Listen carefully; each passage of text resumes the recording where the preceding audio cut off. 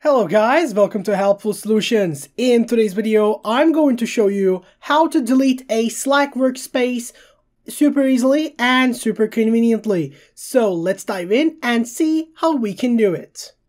Unfortunately, this is not something you can do on your like mobile app or anything in that sort. You either need the of course web browser version or the desktop app version. But to actually delete it, all I have to do is one, open my workspace. And from here, all I have to do is go into the name section. And if you click on name, you will see that this window opening up. And from here, I will go into tools and settings. From tools and settings, I will go into the workspace settings, as you can see like this.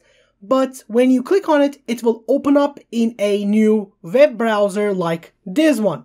This will open up in your web browser and yes, after it opens up in the settings option, like right now, as you can see, I will go all the way to the down and after going all the way to the down, I will just say delete workspace.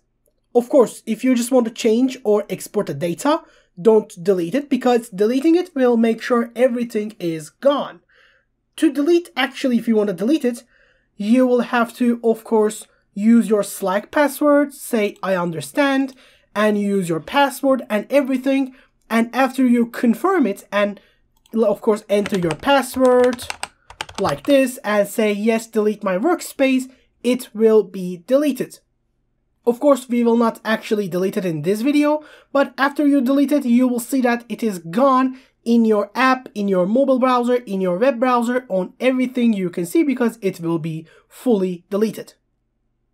And that is generally it for the video, and I hope this video helped you guys. If it did, don't forget to give us a like and maybe even subscribe to our channel. In any other case, I hope to see you guys in the next video as well. Have a great day, and goodbye.